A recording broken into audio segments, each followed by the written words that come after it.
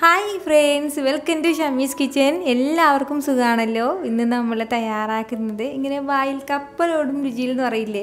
അതുപോലെ വളരെ രുചികരമായിട്ടുള്ള നല്ലൊരു തേങ്ങ അരച്ച മീൻകറിയാണ് നമ്മുടെ ഇന്നത്തെ റെസിപ്പി ഡീറ്റെയിൽസ് ഒന്നും മിസ്സാകാതിരിക്കാൻ വേണ്ടിയിട്ട് എല്ലാവരും ഒന്നും സ്കിപ്പ് ചെയ്യാതെ കണ്ടേക്കണം. കൂടെ തന്നെ നമ്മുടെ ഈ ഷമീസ് കിച്ചൻ ചാനൽ ഇതുവരെയും സബ്സ്ക്രൈബ് ചെയ്യാത്തവരാണെന്നുണ്ടെങ്കിൽ അല്ലെങ്കിൽ ഇത് ആദ്യമായിട്ടാണ് കാണുന്നതെങ്കിൽ പ്ലീസ് ഒന്ന് സബ്സ്ക്രൈബ് ചെയ്തേക്കണേ. ആ തൊട്ടടുത്ത് കാണുന്ന ബെല്ലൈക്കനിലെ കൂടി ഒന്ന് മറക്കാതെ പ്രസ് ചെയ്തേക്കണം എന്നാൽ ശരി നമുക്ക് വേഗം വീഡിയോയിലേക്ക് പോകാം. നമ്മുടെ ഈ മീൻകറി തയ്യാറാക്കി എടുക്കാനായിട്ട് ഫസ്റ്റ് നമുക്ക് തേങ്ങ അരപ്പൊന്ന് അരച്ചെടുക്കണം. അതിന് വേണ്ടിയിട്ട് ഞാനിപ്പോൾ ഒരു അരമുറി തേങ്ങ എടുത്ത് നല്ലതുപോലെ ഒന്ന് ചിരകി വെച്ചിരിക്കുകയാണ്. വലിയ തേങ്ങയാണെന്നുണ്ടെങ്കിൽ ഒരു അല്പം ഒന്ന് മാറ്റിയതിന് ശേഷം മാത്രം ഒന്ന് ചിരകി എടുത്താൽ മതിയാവും. ഞാനിപ്പോൾ ഈ ഒരു അളവിലാണ് ഇതിപ്പോൾ എടുത്തിട്ടുള്ളത്. ഇതിനോടൊപ്പം പിന്നെ ഇനി നമുക്കിതിലേക്ക് വേണ്ടതാണ് ഇതുപോലെ ഒരു മൂന്നാൽ ചെറിയ ഉള്ളിയും കൂടി. അപ്പോൾ അത് നമുക്ക് ചേർത്ത് കൊടുക്കാം. ഇത്രയും ആയി കഴിഞ്ഞാൽ പിന്നെ ഇനി നമുക്കിതിലേക്ക് വേണ്ടത് നമ്മുടെ എരിവിനനുസരിച്ചിട്ടുള്ള മുളക് പൊടിയാണ്. ഞാനിപ്പോൾ ഇതുപോലെ ഒരു രണ്ട് സ്പൂൺ അളവിൽ മുളക് പൊടിയാണ് ഇതിലേക്ക് ചേർത്ത് കൊടുക്കുന്നത്. കൂടെ തന്നെ പിന്നെ ഇനി നമുക്കിതിലേക്ക് വേണ്ടത് മഞ്ഞൾപ്പൊടിയാണ്. ഒരു അര ടീസ്പൂൺ അളവിൽ മഞ്ഞൾപ്പൊടിയും കൂടി.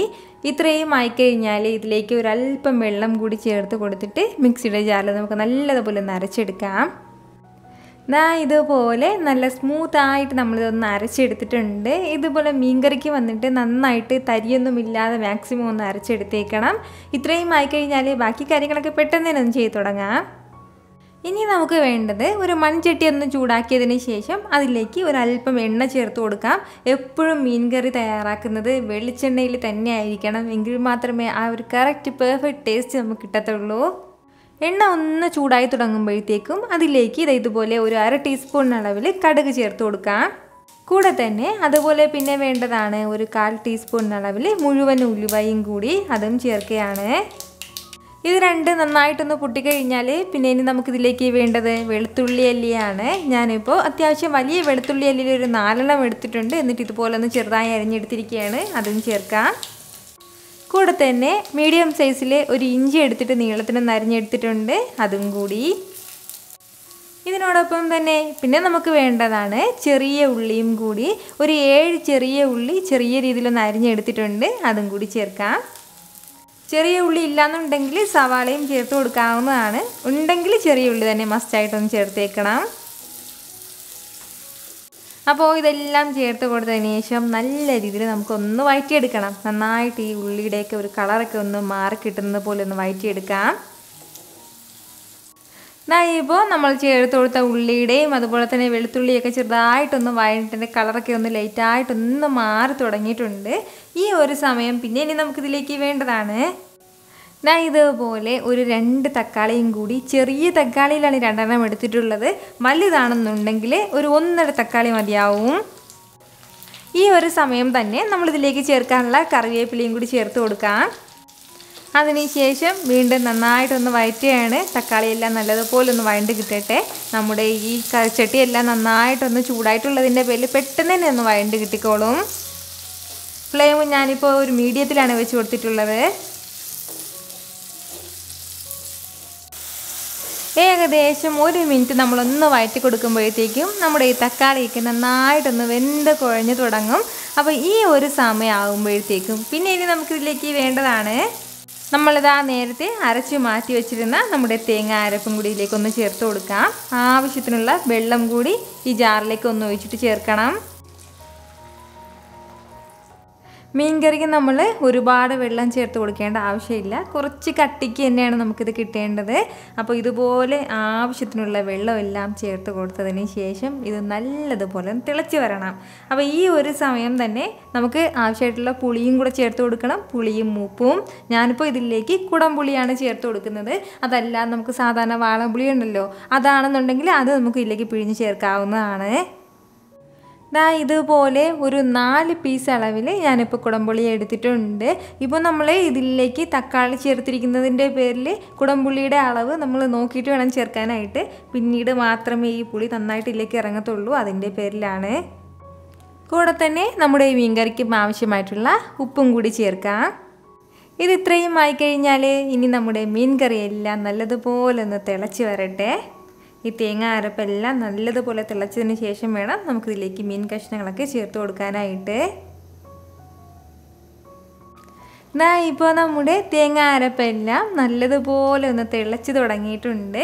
നന്നായിട്ട് ഇതുപോലെ ഒന്ന് തിളച്ച് തുടങ്ങുമ്പോഴത്തേക്കും നമ്മുടെ ഈ മീൻ കഷ്ണങ്ങളും കൂടി ഇതിലേക്കൊന്ന് ചേർത്ത് കൊടുക്കാം. ഞാനിപ്പോൾ ഇതിലേക്ക് പാരമീനാണ് ചേർത്ത് കൊടുക്കുന്നത്. നമുക്ക് ഇഷ്ടമുള്ള ഏത് പീസായിട്ടുള്ള വലിയ പീസ് മീനും അതുപോലെ തന്നെ ചെറിയ പീസിലുള്ള മീനൊക്കെ നമുക്ക് ഇതിലേക്ക് വെച്ചിട്ട് ഇതേ രീതിയിൽ തന്നെ നമുക്ക് മീൻകറി തയ്യാറാക്കി എടുക്കാവുന്നതാണ്. മീൻ കഷ്ണങ്ങളെല്ലാം ചേർത്ത് കൊടുത്തതിന് ശേഷം നല്ല രീതിയിൽ ഒന്ന് ഇളക്കി കൊടുക്കാം. ആ ഒരു സമയം തന്നെ ഇളക്കി കൊടുക്കാൻ പറ്റുള്ളൂ. പിന്നീട് നമുക്ക് ഇടയ്ക്ക് ഒന്ന് ഇളക്കാനൊന്നും പറ്റില്ലെങ്കിൽ പിന്നെ മീനെല്ലാം പൊടിഞ്ഞു പോകും. ഇനി വേണ്ടത് ഇത് ഫസ്റ്റ് ഒന്ന് ഇപ്പം തണുത്ത മീനാണ് നമ്മൾ ഇതിലേക്ക് ഇട്ട് കൊടുത്തിട്ടുള്ളത്. അതിന്റെ പേരിൽ ഇതുപോലെ ചെറിയൊരു തിളവേ വരുള്ളൂ. അത് കഴിഞ്ഞിട്ട് നന്നായിട്ടൊന്ന് മീഡിയം ഹൈ ഫ്ലെയിമിൽ വെച്ച് കൊടുത്തിട്ട് ഒന്ന് തിളപ്പിച്ചതിന് ശേഷം പിന്നീട് നമുക്ക് ഫ്ലെയിം ഒന്ന് കുറച്ച് വെച്ച് കൊടുക്കണം.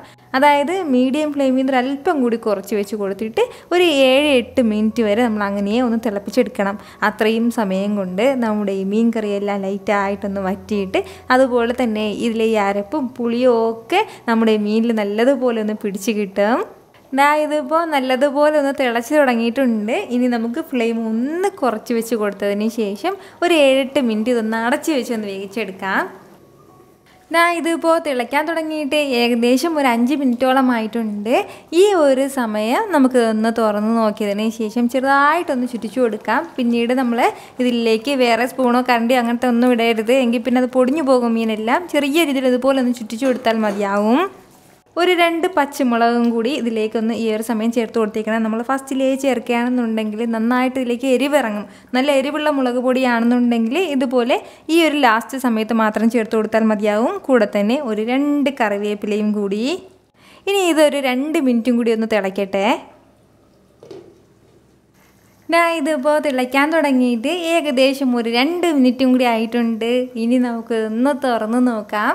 ആ ഇതിന്റെ ഒരു മണം തന്നെ ഇപ്പോൾ നമുക്ക് തന്നെ ഇപ്പം തന്നെ എടുത്ത് കഴിക്കാൻ തോന്നുന്ന രീതിയിലാണ് ആ മണം തന്നെ ഉള്ളത്.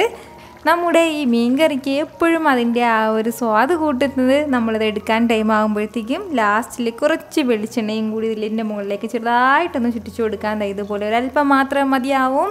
ഇനി നമുക്ക് ഫ്ലെയിം ഓഫ് ചെയ്യാവുന്നതാണ്. വളരെ വളരെ ടേസ്റ്റി ആയിട്ടുള്ളൊരു മീൻ കറിയാണ് കേട്ടോ നമുക്ക് ചോറിന്റെ കൂടെ നല്ല സൂപ്പറായിട്ട് ചൂട് ചോറും ഇതുപോലൊരു മീൻ കറിയോ അല്ലാന്നുണ്ടെങ്കിൽ നമുക്ക് ഇഷ്ടമുള്ള എന്ത് ബ്രേക്ക്ഫാസ്റ്റിന്റെ കൂടെയും സൈഡായിട്ട് വെച്ച് കഴിക്കാവുന്നതാണ്. ഉറപ്പായിട്ട് എല്ലാവരും ഇതുപോലെ ഒന്ന് തയ്യാറാക്കി നോക്കണം. നിങ്ങൾക്ക് നന്നായിട്ട് ഇഷ്ടമാവും അപ്പോൾ ഇതുവരെ ഇതുപോലെ ട്രൈ ചെയ്തിട്ടില്ല എന്നുണ്ടെങ്കിൽ ട്രൈ ചെയ്ത് നോക്കിയതിന് ശേഷം നിങ്ങളുടെ ഫീഡ്ബാക്ക് ഒന്ന് അറിയിച്ചേക്കണം കാരണം നിങ്ങളുടെ ഫീഡ്ബാക്ക് കാണുമ്പോഴായിരിക്കും അത് മറ്റുള്ളവർക്കും തയ്യാറാക്കി നോക്കണം എന്നുള്ളൊരു പ്രചോദനം ഉണ്ടാകുന്നത് അപ്പോൾ ഈ വീഡിയോ ഇഷ്ടമായാൽ എല്ലാവരും മറക്കാതെ ഒന്ന് ലൈക്ക് ചെയ്തേക്കണം. കൂടെ തന്നെ നിങ്ങളുടെ ഫ്രണ്ട്സിനും ഫാമിലിക്കും എല്ലാവർക്കും ഒന്ന് ഷെയർ കൂടി ചെയ്ത് കൊടുത്തേക്കണം. വീണ്ടും നാളെ രണ്ട് മണിക്ക് നല്ലൊരു ഉഷാറ് വീഡിയോ ആയിട്ട് ഞാൻ വരുന്നതായിരിക്കും. അതുവരേക്കും എല്ലാവരും ഹാപ്പി ആയിട്ടിരിക്കുക സന്തോഷമായിട്ടിരിക്കുക എല്ലാവരും സേഫ് ആയിട്ടിരിക്കണം. Take care friends